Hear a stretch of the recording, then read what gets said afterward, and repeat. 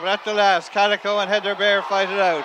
On the run in, Calico on the rail, Heather Bear in the centre of the course. With less than 100 yards to race, Calico on the rail will win it. Another winner for Michael O'Sullivan. We're at the last. Calico and Heather Bear fight it out. On the run in, Calico on the rail, Heather Bear in the centre of the course. With less than 100 yards to race, Calico on the rail will win it. Another winner for Michael O'Sullivan. Calico beats Heather Bear a long way clear of Monty's Rock in third and fourth spot for Two Sharp.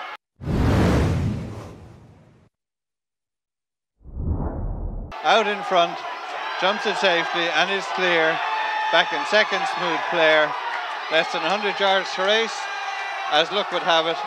Another winner for Rachel Blackmore and Henry de Bromhead. Out in front, jumps it safely and is clear.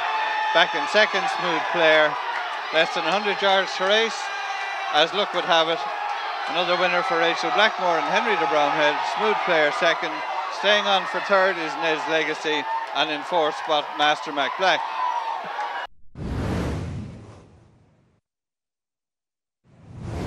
Challenge now on the stand side by Pedoyne. Pedoyne landed narrowly in front.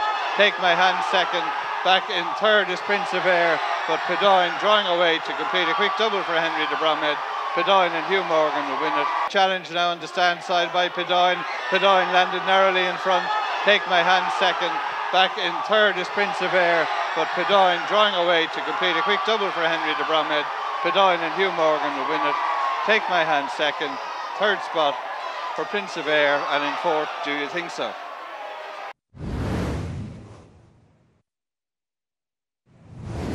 Jump to Shark, Garson Do, and then Prince Alter. Pat Coyne led over the last and has gone clear from in second Garson Do. Prince Alter staying on, but Pat Coyne will win for John Nicholson. Jump to Shark, Garson Do, and then Prince Alter. Pat Coyne led over the last and has gone clear from in second Garson Do. Prince Alter staying on, but Pat Coyne win for John Nicholson, John Queally and Aidan Kelly, Prince Alter up for second, Garson Do in third.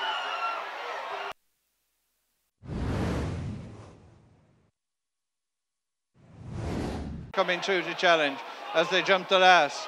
Another million, the Abbey on the inside, read to return, stays on, but another million has made virtually all. Read to return, staying on, but another million will win for Ricky Doyle. Coming through to challenge as they jump the last another million. The Abbey on the inside, read to return, stays on, but another million has made virtually all. Read to return, staying on, but another million will win for Ricky Doyle. Read to return second, the Abbey third, Karen's gift, and must be dreaming.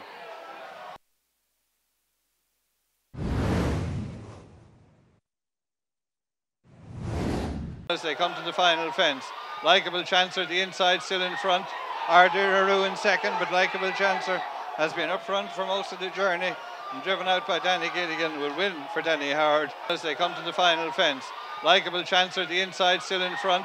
Ardir Aru in second, but Likeable Chancer has been up front for most of the journey and driven out by Danny Gilligan will win for Danny Howard. Ardir Aru second, Fox LaBelle third, and then the Eye of Tulla.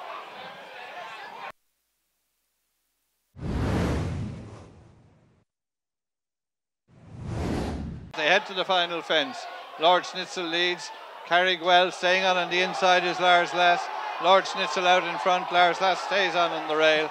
But Lord Schnitzel will win the finale for Declan Queally and Jack Hendrick. They head to the final fence. Lord Schnitzel leads. Carrigwell staying on on the inside is Lars Lass. Lord Schnitzel out in front. Lars Lass stays on on the rail. But Lord Schnitzel will win the finale for Declan Queally and Jack Hendrick. Lars Lass second. Carrigwell's third. Sizing Diamond was fourth.